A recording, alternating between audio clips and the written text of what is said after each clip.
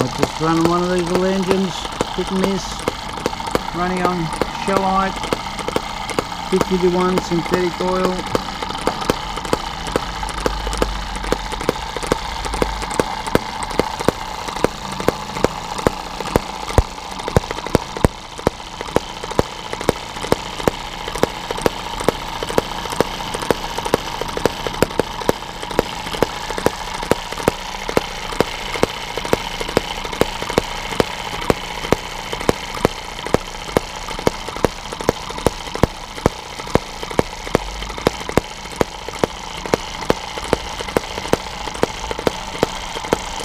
Cute little motor. Runs nice. Starts easy. Running on a little battery. I pulled out of an e-cig I found on the side of the road. One of them.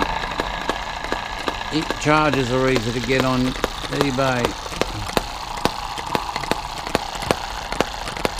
Much quieter off the bench.